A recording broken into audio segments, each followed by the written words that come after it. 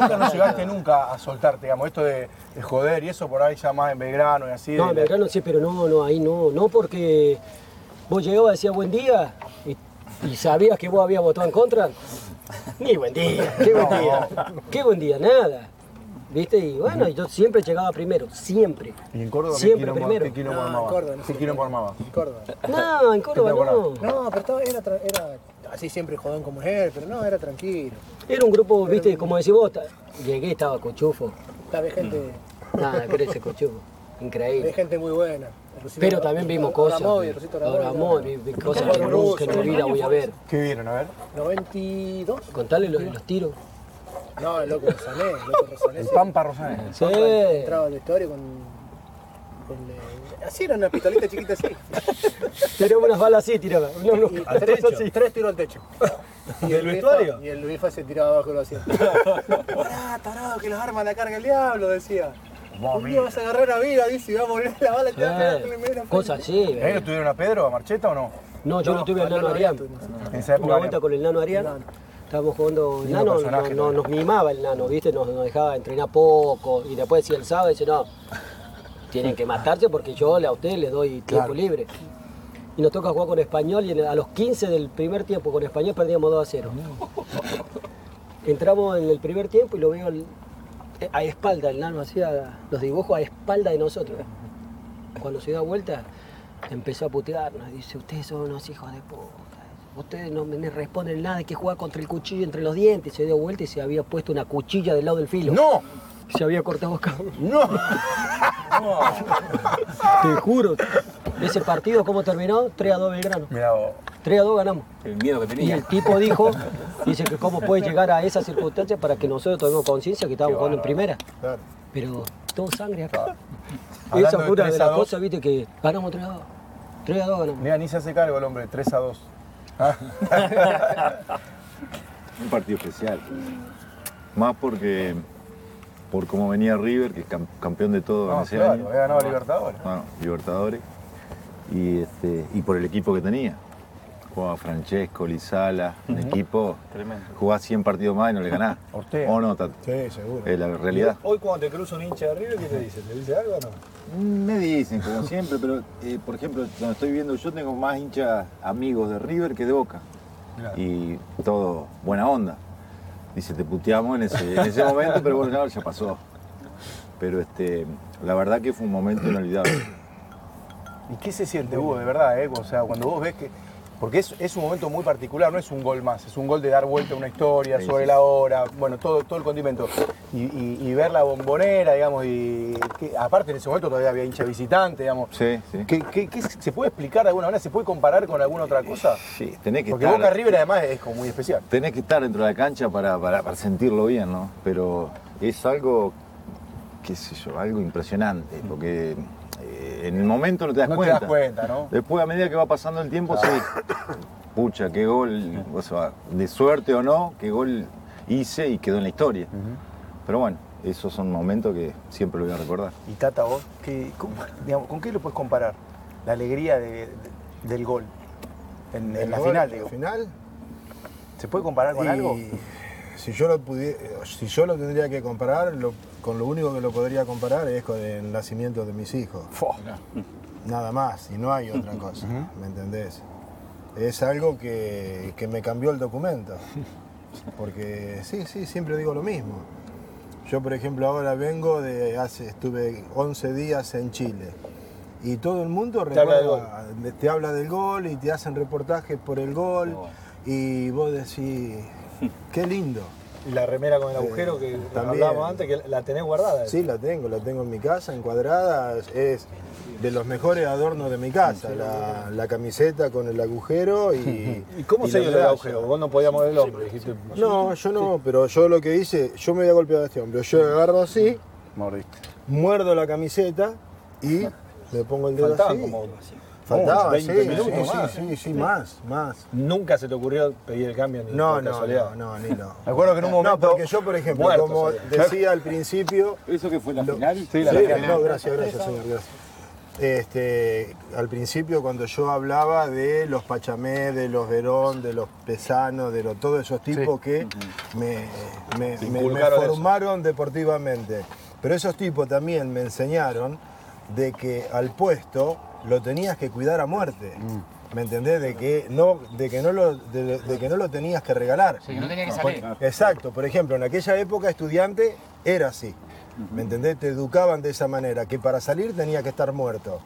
¿Me entendés? O tenías que perder un ojo, o, te, o te- tenían que cortar las piernas, era así. Y yo la verdad, ¿viste? yo a ese mundial llegué, pero de carambola. Si yo ni siquiera club tenía. A cebar no mate, ¿te acordás? Claro, El Tata Brown va a cebarle mate a Bilardo, era la por frase. eso. Pero Tata, llegué- y el festejo, el, el festejo, porque para mí el festejo es algo que me, me- me marcó quedó grabado. O sea, todavía me parece O que sea, cualquiera. el festejo del gol, El ¿sí? festejo del gol Ah, del se Tata.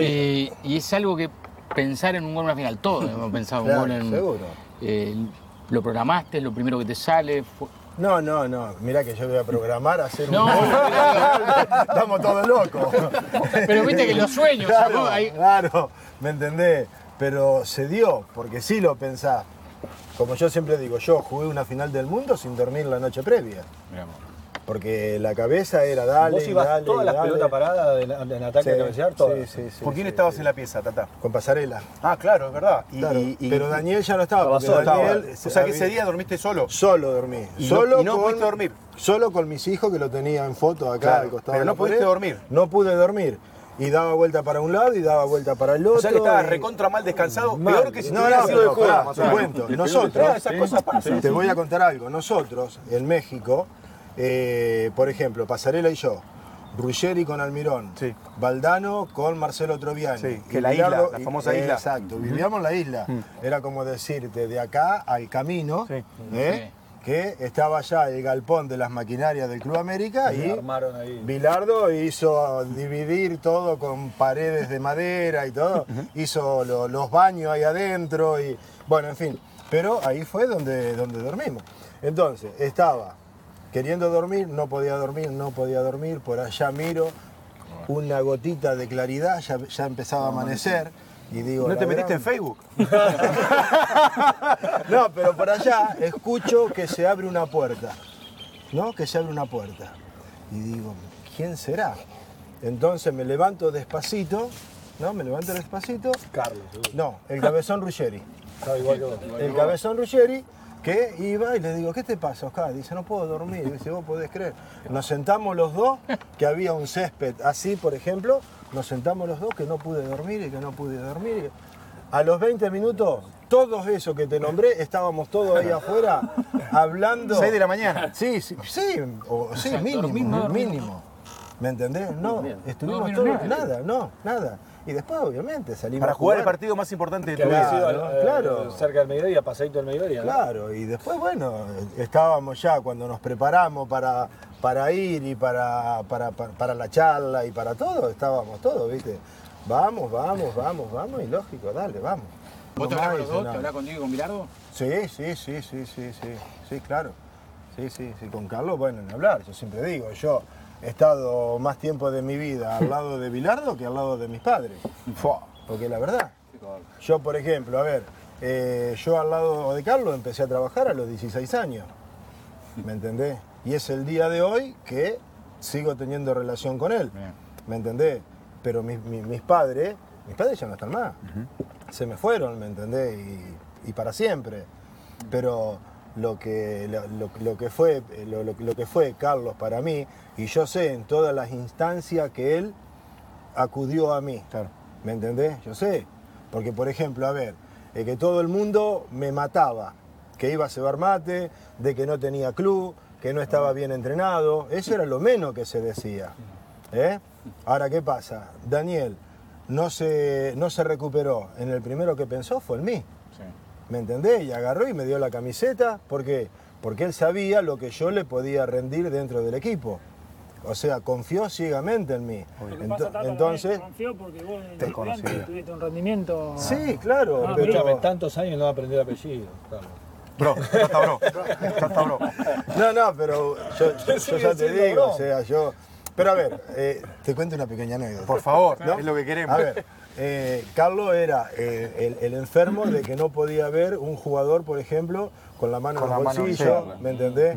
Bueno, en ningún todo- momento. eh, nada, nada. No en el partido. nada. Yo me acuerdo de un video que nos mostró eh, eh, cuando estudiábamos en TEA. Increíble, ¿eh? Nos mostró una ronda de jugadores hablando y estaba Canigia con la mano acá atrás. Claro. Y Vilaro tenía una camiseta en la mano y se la tiró. Y Canigia, le- la, camiseta le pegó acá y se cayó. Y Canigia lo miró como diciendo, sos boludo vos. Y Larigón dijo, no, vos tenés que tener las manos adelante. Claro. Tenés que estar atento. Claro, porque no si no podés estar con la mano acá atrás, perdés un tiempo. Claro, perdés un tiempo, ¿viste? Y bueno, y era, y era un tipo obsesivo eh, al 100% en todo. Hace poco, yo aún trabajando en Ferro, Sí. ¿no? Una mañana salgo con el muchacho que el, el colaborador mío, Sí. Purri, Purri Armendari, vamos a ver la cancha y nos ponemos a, a diagramar el trabajo que íbamos a hacer. Yo estaba con el teléfono en la mano porque tenía al nene que yo me había venido de mi casa de La Plata con fiebre. Entonces yo le había dicho a mi mujer de que me esté llamando porque quería saber cómo estaba el nene. Entonces estaba hablando con este, con este muchacho, todo, pa, me suena el teléfono, ¿viste? Miro el teléfono, Pilardo. ¿Viste? Le digo, hola. "Eh, sí, Bron. ¿Viste? ¿Qué hace, Carlos? ¿Cómo andás? Eh, no, no te dice Tata, no te dice no, José. no, no, bro. Bron. ¿Viste? Entonces, escúchame, escúchame. Ah, ¿Viste? Agarro y le digo, ¿qué haces, Carlos? ¿Cómo andás? ¿Bien? Eh, bien, bien. Eh, escuchá, eh, sacate las manos, sacate, dejá el teléfono, no podés estar con el teléfono. Estaba mirando. ¿Viste? Y yo le digo, ¿pero dónde estás, Carlos? Dice, acá en casa. Claro, no sé, tiene un edificio, un departamento que veía la cancha de, de- de entrenamiento de ferro. Y digo, te llamó para ver si atendía. Para que no atienda. no, no, y para que no tenga el teléfono en la, en la, en la mano, porque la verdad, vos técnico, si le vas a hablar a los jugadores, no podés estar con el teléfono en la mano. ¿Me entendés? Entonces, me cagó a pedo. Él, escuchame, él dice, eh, estoy acá eh, en la habitación y veo que tenés el teléfono en la mano. eh, no lo podés tener en la mano. Entonces, claro, le, No, le no te lo quise... dicen, joda y nada. No, Y- está loco, vos, no. Para eso, para lo único que llamó para eso. Claro. No, enojado- yo sospecho que enojado no. Pero aparte yo le digo, no. pero escúchame, Convencido. digo, decime dónde estás, le digo. A ver, decime dónde estás, porque viste, Sí. eh, la, la Avellaneda Sí, y todo sí, es, un, claro. Sí, mundo difícil. es un mundo de edificios, ¿viste? Digo, pero decime. No, estoy acá en casa. Sí, le digo. Ni, idea, Ni sabe la dirección. ni idea, ¿viste? Yo digo, no, no, pero. Sabe es, llegar. Es un tipo, es un. No, no, no, un tipo. No, no, no, en todo, en todo. en No escuché hablar al señor Mazzoni. Hasta ahora. Está con el asado. El asado. Está hablando de un campeón del mundo, ¿no? No, bien, bien. ¿Es verdad que está jugando al fútbol todavía? Sí. Empecé vuelta. El Atlético Rancho. Un monstruo. Que de paso le mando Liga de Chascomús. La Liga de Chascomús, sí. Qué grande. Bien. 4-2, ¿no? ¿Eh? 4-2. 42. ¿Y todavía? Y ahora empecé de vuelta, corrí un poco. Bajé de peso. No estoy como el No, amigo acá por ser, pero No, no está como vos de flaco, dice. claro. No llegó todavía. Quiero llegar a tu estado. Sí, No, bien, bien. Suerte bien. No, escuchando al Tata, que la verdad que uno lo ha visto salir campeón y después ahora tuve la suerte de encontrarlo en rancho. Ajá. Y, Ahora son vecinos. Y te Ah, podés quedar vecinos, ¿eh? horas escuchándolo de, Ahora- de esas vivencias que por ahí uno no tuvo la suerte de participar en la selección y, y esas cosas son únicas. Y Está claro que, eh, digamos, el gran tema de tu carrera futbolística es el famoso gol de- a, a- a gimnasia. Es, es muy Pero recordado hay- en La Plata. Claro, Es Muy ídolo, recordado. ídolo. Pero de, Tiene peña. sí, las peñas, de, de- de eso ya hemos hablado mucho. Sí. Y vos decías, bueno, por ahí la gente te habla de eso solo y yo hice otras cosas. Me saliste campeón con Independiente, de la Supercopa. Recopa. Eh, ¿Qué nunca te preguntaron o qué, qué te preguntamos pocas veces y vos decís, loco, esto está bueno para contarlo, déjenmelo contar? Ahí tenés, contanos. No, no, en realidad, qué sé yo, uno le costó mucho llegar a donde llegó y, un poco a veces lo que ustedes estaban hablando antes, las vivencias que hemos tenido los de aquella época en lo que era grupo, eh, llegar a esos grupos con gente tan importante y, y la suerte que uno tenía de llegar a esos lugares, ya llegabas con otra mentalidad. Llegar a ese grupo y tener eh, tipos que ellos como Gareca, Islas, eh, son cosas que uno las los veías y no, no- decís nunca voy a llegar a estar ahí con esa gente. Y una vez que estás ahí, te crees eh, que estás en un sueño, prácticamente. Claro, Claro, porque- aparte diste la vuelta olímpica de Maracaná. Claro. Claro. Qué memoria. Claro, ¿no? Y, y un año y medio antes yo estaba en la tribuna cuando salió campeón de contra el Huracán, le ganó 4 a 0. Sí. yo estaba en la tribuna y decían, en este equipo no puedo jugar nunca, porque claro, estaba Palomo. Sebastián, eh, Palomo, Gustavo López, y estabas Flaco ahí cerquita, pero si no voy a tener lugar nunca. Y bueno, y te toca, y, y cuando te toca no tenés que desaprovechar esas situaciones. Pero nosotros llegábamos siempre, eh, desde las inferiores, te inculcaban tanto de que cuando llegabas a primera tenías que respetar tanto a la persona que estaba ahí, no por los años, sino por la trayectoria que tenían. Entonces, eh, haber logrado lo que logré en Independiente, eh, y, y- y por lo general te dicen de este gol. Y a mí este gol fue un gol más. Claro. Está bien. O eh, menos, para, para el. Sí, no, beneficiar un equipo que no salga campeón, no. Independiente no, Eh, porque íbamos para vos íbamos fue lo noveno. más importante lo- lo- de la Supercopa, ponele. Sí, por supuesto, porque yo pasé 11 años de mi vida en Independiente. Y estuve a punto de, de por ahí no llegar a ser un profesional. Tres años sin jugar, lesiones graves. Y de haber jugado un año y medio independiente, haber ganado Supercopa, Recopa en Japón, Claro. jugar otra final en Japón y perderla. Digo, hay veces que los jugadores este, pasan por equipos y no ganan nada. Claro. Y yo tuve la suerte de jugar nada más que un año y medio y haber ganado títulos importantes para Independiente. Y que hasta hace poco había sido el título internacional, el último que se había ganado. Perdón, Sí, no, ¿a quién putear más? ¿A Mazzoni o a un arquero que fue a cabecear cuando nadie iba y le hizo un gol a Racing? A vos te lo de Racing, te deben putear, pero lo de Racing te deben putear hasta. Yo me imagino un hincha de Racing te dice, "¿Qué- ¿para qué fuiste a cabecear? No, sí me dicen, me dicen como Hugo. Dice, si te habré puteado aquel día, pero, pero ahora de buena onda. Ahora de buena onda. pero sí, la verdad. Yo me acuerdo después del partido que el profe Córdoba dijo, es algo que practicamos durante la semana. ¡Qué sinvergüenza! Por favor, pasaron. ¡Qué sinvergüenza! ¿Cuándo pasó? ¿Es verdad que practicaban eso ni en pedo? No, no, no practicábamos eso. No, no, no practicábamos. Que sí. que entre Pobre profe. No lo practicaba nada. Lo que quiso decir que nosotros por ahí cuando los, arqueros practicábamos centro, hay uno que ataja y los otros dos o tres del plantel hacen sombra. Sí. O sea, la sombra es hacer como que lo va a tocar un poco para que no se acostumbre a salir con gente en el área. Y ahí sí practicamos, digamos, de si te queda uno en la cabeza, ¿Y pero no era un entrenamiento sí te de... puteó algún jugador y te digo, ¿qué haces? Tomátela cuando fuiste al área. No, no, no, Nada. no, no, ni hablaba. Si ni hablaban, yo lo único, lo único que escuchaba eh, eh, agarré al arquero, agarré al arquero y que la mayoría tenía marca. Claro. Y el que estaba en el, en el poste, que era Adrián de Vicente, se quedó, se quedó en el poste y Volviste a ir a cabecear, ¿no? sí, tres, cuatro veces más. Y te ni cerca, ¿no? Es, es el destino. Se sabe y nunca más. No, aparte ya, la- las otras veces que va a cabecear decís, mirá si me cae de ¿viste? Ya vas pensando, entre que vas corriendo vas pensando, mirá si me cae de vuelta, si hago el gol de vuelta, o mirá si le agarra el arquero y tengo que volver como un boludo para atrás corriendo. El centro lo tira eh, Marcelo Co- Couseiro, Couseiro. centrazo, centrazo también. ¿Y el zurdo abriéndose, Nacho. Nacho Nacho González. González. Nacho González te- un poquito de Nacho González te habrá puteado. Ayer, en la semana pasada, me, me Después una nota y me preguntaron ¿coincidieron en si alguna vez, no, si alguna cuando- vez lo habíamos hablado y le digo, no, a mí no me daba Porque los dos tuvieron el ciclo de pasarela, pero nunca juntos. diferente, claro. Coco, y vos cuando, cuando hicimos la, la fila, cada uno decía el, el gol, vos dijiste el gol a Boca por los 13 partidos consecutivos, pero también hiciste el gol con el que San Lorenzo salió campeón de la Mercosur. Claro, dije ese. Tenés dos. Sí. ¿Por cuál viniste, no?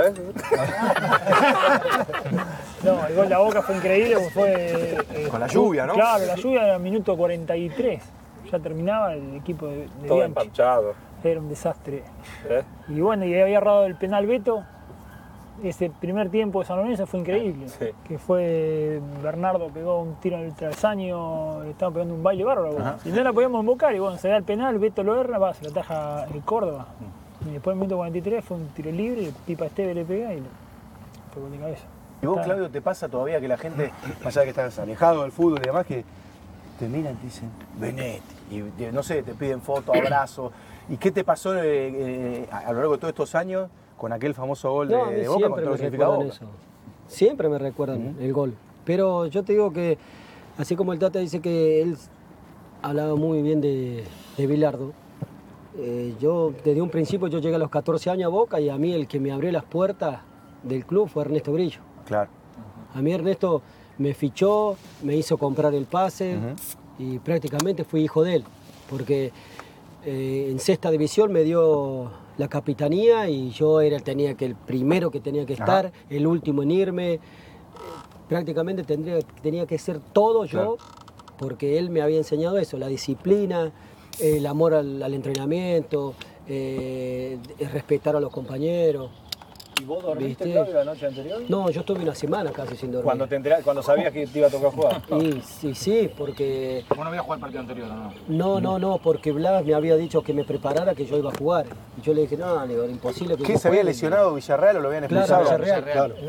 Yo le digo, no, no puedo jugar. Yo Blas le digo, porque es un partido muy importante y aparte el, el técnico no se va a jugar para un pibe de inferiores, le digo. Olvídate, le digo, va a cambiar el esquema y va Claro. a poner a otro. Y no fue así. ¿Y él te dijo, el maestro fue y te dijo? El lunes a la mañana, el lunes a la mañana me abrazó el maestro y me llevó a caminar por la cancha y me dijo que, que cómo estaba yo.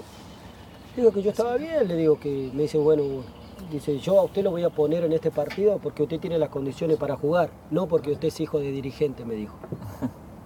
Usted haga lo que, lo que sabe y nada más. Que la- toda la responsabilidad la asumo yo. Eso fue lo que me dijo. Bueno, muchachos, vamos a brindar. Gracias por habernos acompañado. No, Espectacular gracias a ustedes por invitarnos. A todos por Por- haber cumplido por respeto lo dejamos ganar. Gracias, gracias por... Gracias. Gordo, tienen vamos, el un sueño de hacer poquito lo que más. hicieron ustedes. Todo el mundo tiene el sueño. Por la figura del partido, el gordo. Con ese- con la alegría. Porque hoy descubrimos un arquero.